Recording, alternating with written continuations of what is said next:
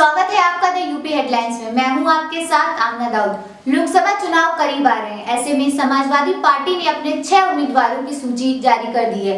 सपा संरक्षक मुलायम सिंह यादव मैनपुरी से चुनाव लड़ेंगे, जबकि फिरोजाबाद से सांसद अक्षय यादव चुनावी मैदान में बने रहेंगे।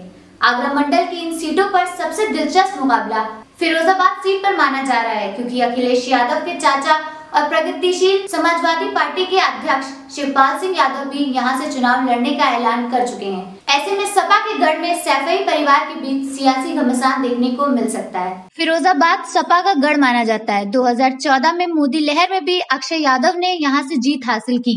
लेकिन तब शिवपाल यादव समाजवादी पार्टी में थे। इन पाँच सालों से यूपी की सियासत में बहुत कुछ बदल गया। समाजवादी पार्टी से अलग होकर शिवपाल ने अपनी पार्टी बना ली है। अखिलेश यादव ने बसपा से गठबंधन कर लिया है। गठबंधन में आगरा मंडल की फिरोजाबाद और मैनपुरी सीट सपा के खाते में है। सपा ने फिरोजाबाद से सिटिंग सांसद अक्षय यादव को उम्मीदवार बनाया है। तो मैनपुरी से सपा संरक्षक मुलायम सिंह यादव को चुनाव में उतारा है। हालाँकि मैनपुरी सीट को लेकर शिवपाल पहले ही कह चुके हैं कि इस सीट को छोड़कर प्रदेश भर में चुनाव लड़ेंगे। ऐसे में फिरोजाबाद सीट पर सपा और प्रसपा के बीच कांटे की टक्कर देखने को मिलेगी, जहाँ एक तरफ़ सिटिंग सांसद अक्षय यादव होंगे तो दूसरी ओर उनके चाचा शिवपाल यादव। दोनों नेता फिरोजाबाद में लगातार जनसभाएँ कर रहे हैं। ऐसी ही तमाम खबरों के लिए बने रहिए हमारे साथ और देखते रहिए द यूपी हेडलाइंस।